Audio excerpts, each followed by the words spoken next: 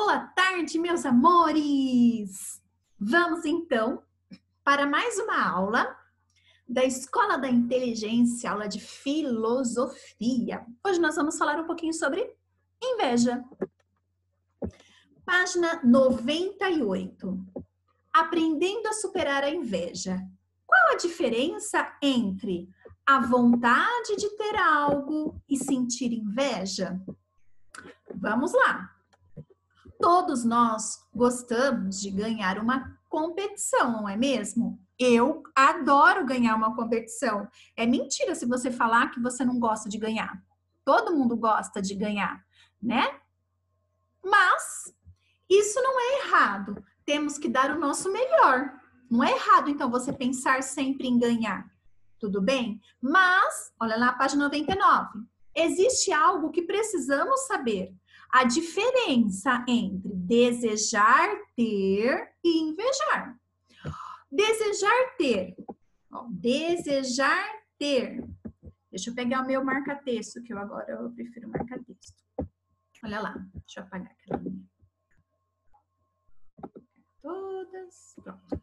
Então, ó, desejar ter é quando você se esforça, treina e se empenha para conquistar algo que você ficou feliz em ver o outro ter.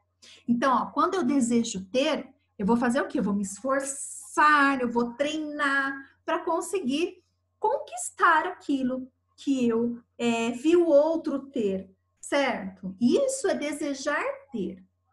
Invejar. Olha lá, invejar. É quando você não aceita que o outro tenha algo, quando você não aceita que o outro ganhou, quando você deseja que o outro perca, ainda que você não ganhe nada com isso.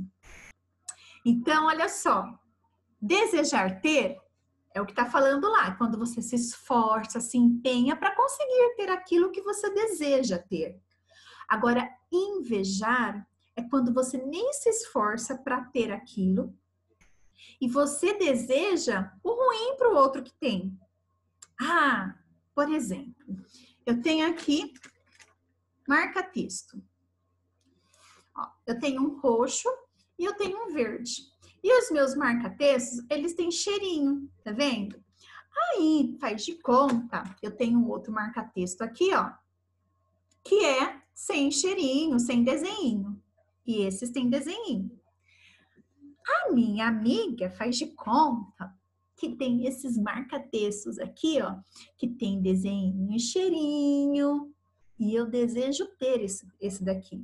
Só que eu não uso o termo desejo ter, eu tenho inveja. Por que inveja? Porque eu não tenho o marca-texto que ela tem. E eu desejo que ela perca esses marca-texto. Eu desejo que a ponta quebre do marca-texto, que acabe a tinta logo do marca-texto. Isso é inveja. Eu peguei e falei assim para minha amiga também: Nossa, que marca-texto feio que você tem. Na verdade, eu tô tendo inveja, porque eu quero muito um desse daqui, certo? Mas eu não tenho, eu tenho um desse, que é igual, faz a mesma coisa, às vezes até melhor. Esse, mas eu quero esse porque tem desenho tem cheirinho. Então, invejei. Agora, eu desejo ter um marca-texto igual da minha amiga. Então, eu vou me esforçar. O que, que, eu, vou, o que, que eu posso fazer? Mamãe, papai, eu vi um marca-texto diferente que eu gostaria muito de ter que, que eu posso fazer para ganhar um marca-texto? A mamãe falou assim: ah, então me ajuda, é, tirar o pó da casa que a mamãe compra um marca-texto para você. Então, o que, que você está fazendo? Você vai se esforçar. É, a mamãe fala assim: olha, então tire uma nota boa na prova que a mamãe compra um marca-texto desse para você. Então, o que, que você vai fazer? Vai se esforçar para você ter. Então, você desejou ter algo e você se esforçou para ter. Você ajudou em casa, você estudou, você obedeceu, você fez tudo certinho porque você deseja ter algo. Tá? Agora, inveja é você desejar que a outra pessoa é, ela perca, ela, ela estrague, só para outra pessoa não ter. E já que você não tem, ela também não vai ter. Isso é ter inveja. E a coisa mais feia do mundo é a gente ter inveja. Às vezes tem inveja sem perceber. Às vezes, sem você perceber que aquilo é uma inveja, acaba sendo uma inveja. Então, desejar ter, você tem que precisa é, se esforçar para ter aquilo. Agora, invejar é quando você não tem e deseja que o outro também não tenha. Tá bom? Ah, existe uma grande diferença entre essas duas coisas. Vamos pensar sobre isso com os seus amigos? Vamos analisar e pintar as cenas que mostram as atitudes que representam o desejo de ter algo e aquelas que representam a inveja. E para concluir a atividade, pense e escreva sobre cada situação. Então, olha na página 100. Vamos pensar. Vamos pensar juntos. Toda a classe da dona Miranda estava feliz por poder participar do campeonato de natação todos treinaram muito, certo? Quando o juiz deu a largada, Carol e Camila, duas participantes, estavam muito preparadas, então elas treinaram muito, pois haviam treinado bastante. Mas Camila foi mais rápida e venceu. Certo? Então a Carol e a Camila, elas treinaram muito, se esforçaram muito. Só que a Camila venceu. Pinte a situação em que Carol demonstra uma atitude inteligente com relação à classificação no campeonato de natação. Então, olhem lá. Você ganhou, boa sorte, eu sou melhor que você. Você ganhou, desculpa. Você ganhou por sorte, eu sou melhor que você. Será que ela teve uma, uma reação saudável aqui? Não teve uma reação saudável. Por quê? Olha lá. Você ganhou por sorte. Ela ganhou por sorte? Vocês acham que ela ganhou por sorte? Ou ela ganhou porque ela treinou muito e se dedicou muito? Ela treinou e se dedicou muito para ganhar. Então não foi sorte foi treino, foi dedicação. Mesma coisa que às vezes alguém vai lá tira nove na prova e o, oito, o outro tira oito na prova. Aí o outro fala assim: Nossa, você teve sorte de tirar nove. Não, porque você, aquela pessoa estudou e se esforçou para tirar nove, né? Então não tem essa de sorte, tem esforço.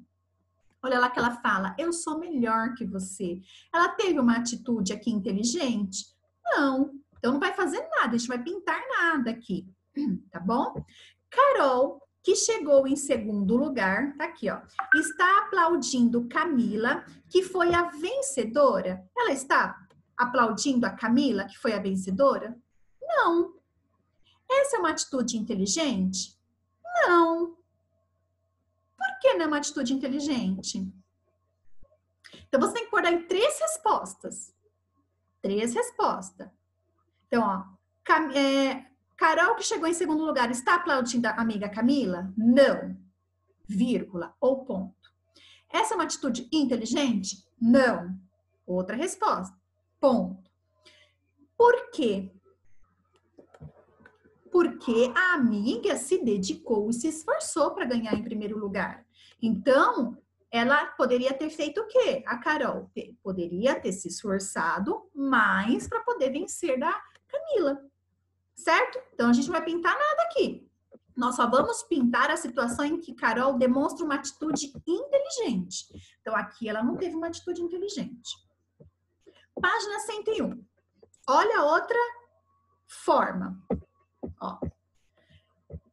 Olha a Carol falando da próxima vez eu vou tentar, eu vou treinar mais para ganhar. Mas hoje Camila foi a vencedora e merece os meus aplausos.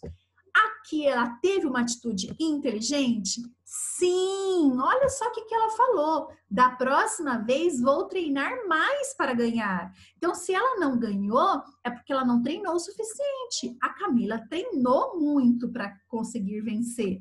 Mas hoje a Camila foi a vencedora e merece meus aplausos. Então, eu não venci, mas eu vou aplaudir a minha amiga que venceu.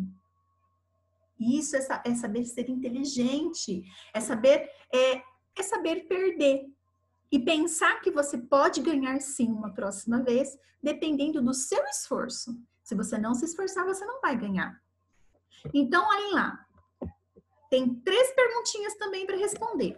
Carol, que chegou em segundo lugar, está aplaudindo Camila, que foi a vencedora? Sim. Essa é uma atitude inteligente? Sim. Então são dois sims. Por que é uma atitude inteligente? Porque ela soube ou ela sabe que ela precisa treinar mais para ganhar também uma competição. E que ela está é, parabenizando a Camila pela vitória dela. Isso é uma atitude inteligente. Então, vocês vão pintar aqui, ó, a Carol. Vocês vão pintar a Carol bem bonitinha. Certo? Aqui não vai pintar na 100, vai pintar na 101. 102. Pinte a situação em que... Aqui já é outra história Agora, lá era a Carol, agora é a Camila. Pinte a situação em que Camila, ao vencer a competição, teve uma atitude inteligente e não menosprezou Carol por, ter, por não ter chegado em primeiro lugar. Então, aqui já é o contrário, certo? Então, vamos lá. Deixa eu puxar isso aqui para cima vocês não veem, mas eu provei o negocinho ficar descendo aqui. Pensando no comportamento da Camila, agora é a Camila, não é a Carol, um comportamento diferente. Olha a Camila falando lá em primeiro lugar, ó.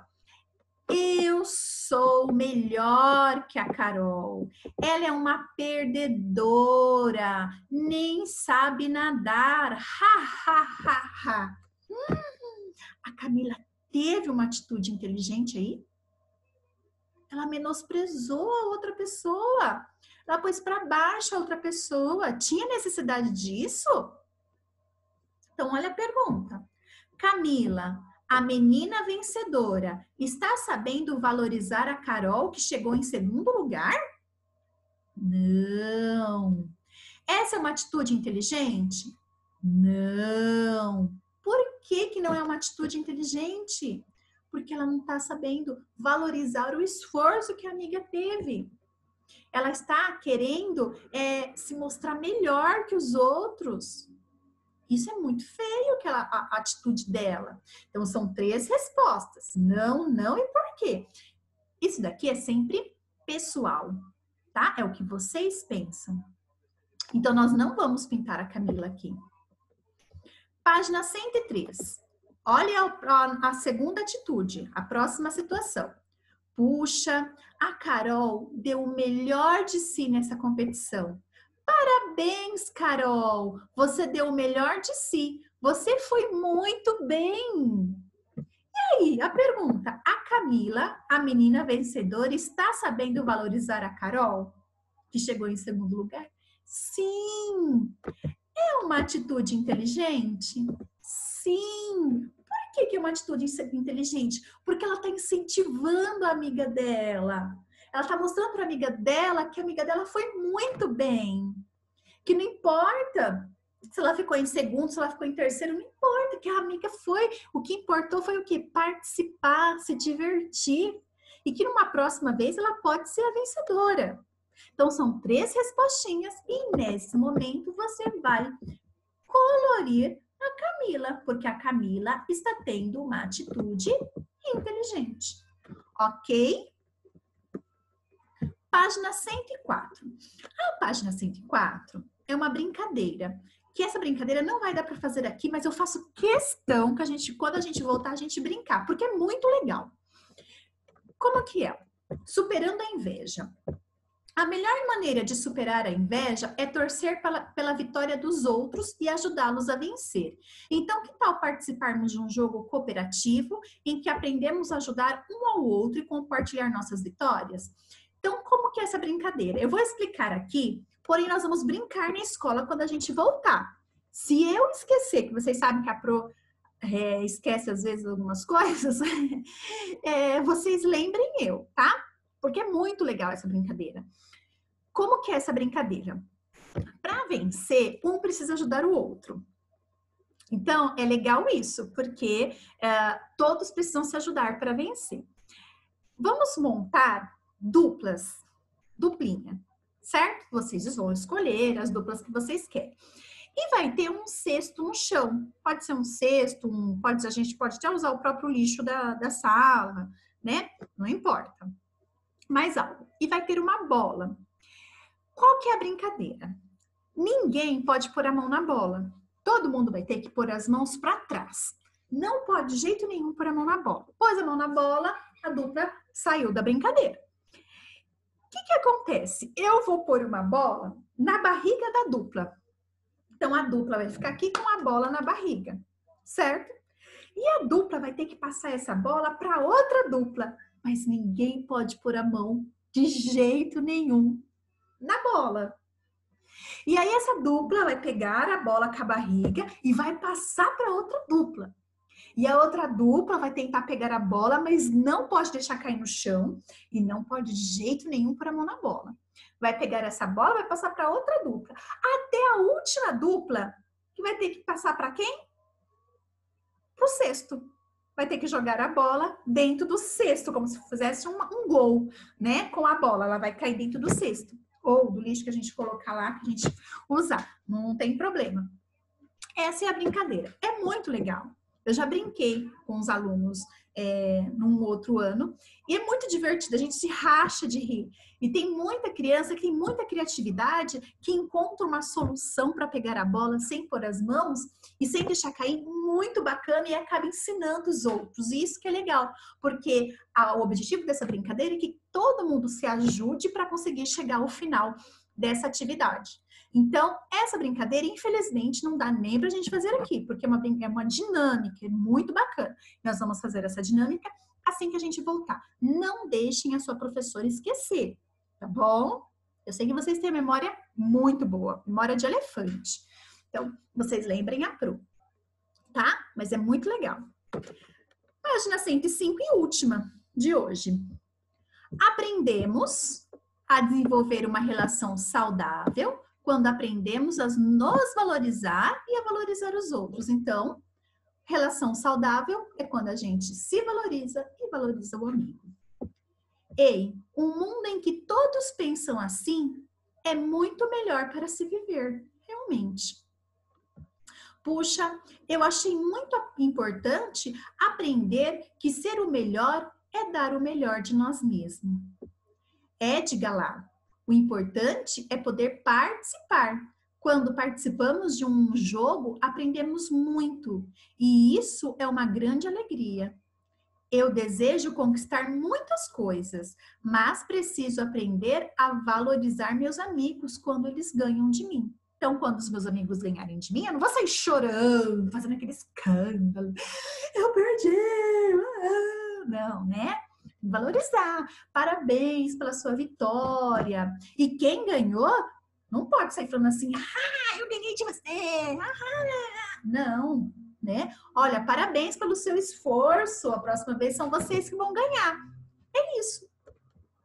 Eu aprendi que aprender a perder é tão importante como aprender a ganhar. Então, isso daqui é muito importante, certo? Querido aluno, não se esqueçam de pintar mais uma estrela por tudo o que aprendemos nessa lição.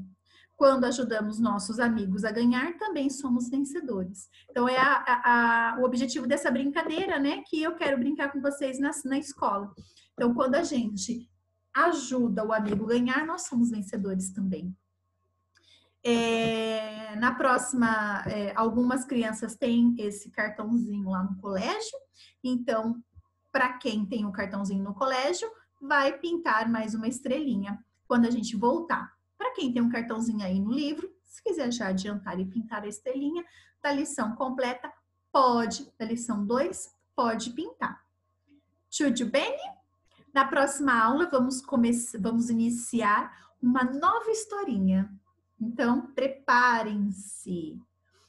Um beijo para cada um de vocês e até a próxima semana com mais uma aula com a Protati, a Pro mais bonita do Colégio Vencer. Gente, não conta isso para ninguém, porque já não dá para cortar o vídeo agora, não. Vai ter que ficar gravado. Veja.